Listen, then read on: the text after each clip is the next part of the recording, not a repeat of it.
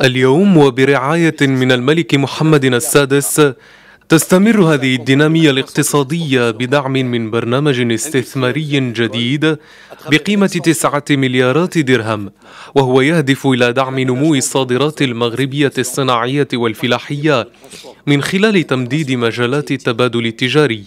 ستساهم هذه الديناميكية في تحسين القدرة التنافسية اللوجستية في القارة الأفريقية وتأكيد اندماج المغرب في مجال الخدمات اللوجستية العالمية الرئيسية مما يضع طنج المتوسط في المستقبل القريب في مستوى أفضل موانئ العالم التجارية العشرين.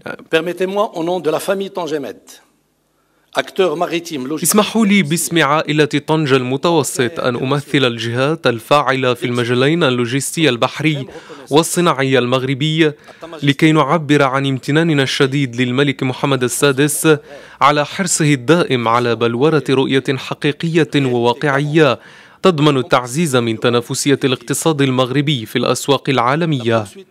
استمرار دينامية التنمية كما يحدد معالمها الملك محمد السادس للمنطقة الشمالية. تعزز موقعها باعتبارها القطب الاقتصادي الثاني للمملكة. الآن وعلى بعد أميال من أوروبا فالمنطقة فخورة بتطورها الاقتصادي والاجتماعي الديناميكي الجذاب. وتستطيع من الآن فصاعدا تأكيد دورها كعنصر فاعل في الاقتصاد العالمي.